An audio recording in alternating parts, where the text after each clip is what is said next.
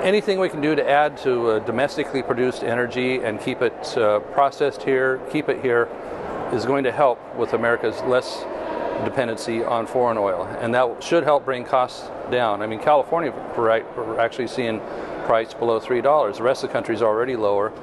But uh, it's, uh, it's an improving situation the more we do to develop energy. So Keystone will be one part of that, but we need to do a lot more. We have uh, private lands are, are where all the development of new energy is really happening. We have a lot of public lands that we can uh, sustainably, using good practices, develop more energy that's on the vast amounts of publicly held land that the federal government has it does nothing with.